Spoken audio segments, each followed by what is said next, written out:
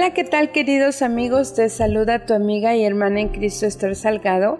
Estoy aquí para compartir el matinal de martes 15 de julio del 2014, que lleva por título Conscientes de las misiones extranjeras parte 2. La tierra será llena del conocimiento de Jehová, como las aguas cubren el mar.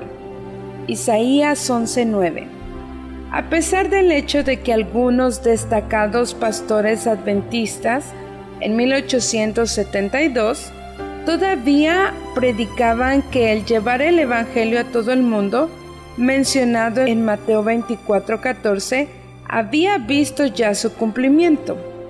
El impulso para la misión continuó cobrando fuerza entre los adventistas, pero era un problema conseguir personal capacitado y esto hizo que en 1873 y 1874 se tomaran medidas para fundar el primer colegio de la iglesia. En el verano de 1873, Jaime White no solo estaba solicitando un colegio, sino también instó a que J. N. Andrews fuese a Suiza ese otoño. En respuesta al pedido de un misionero para los adventistas suizos, aquel mes de noviembre, White convocó a un congreso especial de la Asociación General con el objetivo de analizar a un misionero, pero aún así no pasó nada. Es significativo que el sermón ofrecido por White en el Congreso de 1873 fuese una exposición de Apocalipsis 10 en relación con las misiones extranjeras. Anteriormente, ese año había aplicado el imperativo de Apocalipsis 14:6 de predicar el Evangelio eterno a todo el mundo y el mandato de Apocalipsis 10:11 de que es necesario que profetices otra vez sobre muchos pueblos, naciones, lenguas y reyes.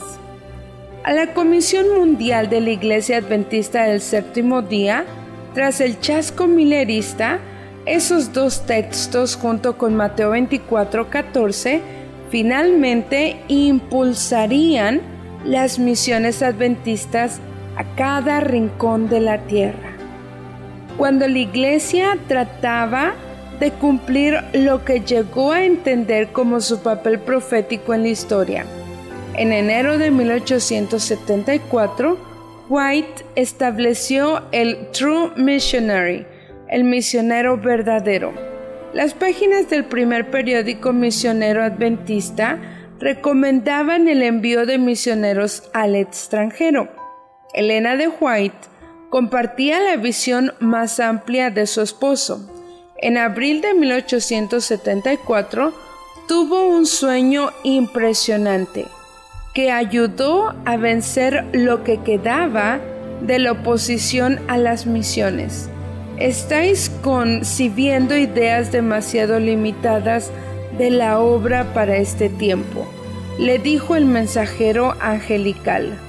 Vuestra casa es el mundo el mensaje avanzará con poder a todas partes del mundo, a Oregon, a Europa, a Australia, a las islas del mar, a todas las naciones, lenguas y pueblos. Se me mostró, dijo, que la obra misionera era mucho más vasta de lo que nuestros hermanos han imaginado o de lo que jamás han contemplado y planeado como resultado, exigió mayor fe que se exprese mediante la acción. Mayor fe. Esa era la necesidad en aquel entonces. Esa es la necesidad ahora. Oremos. Señor, aumenta nuestra fe. Padre, a fin de que podamos ver tu voluntad en nuestras vidas. Permite, Señor, que podamos tener la habilidad de escuchar tu voz. Y bendice, por favor, a todos los que están escuchando este matinal. Te lo pedimos y te lo suplicamos en el nombre de Cristo Jesús. Amén. Amigos, gracias por habernos acompañado aquí en reflexionesmatinales.com. Nos vemos hasta la próxima.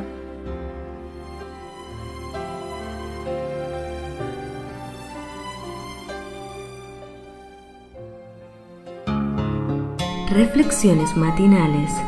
Dios te bendiga.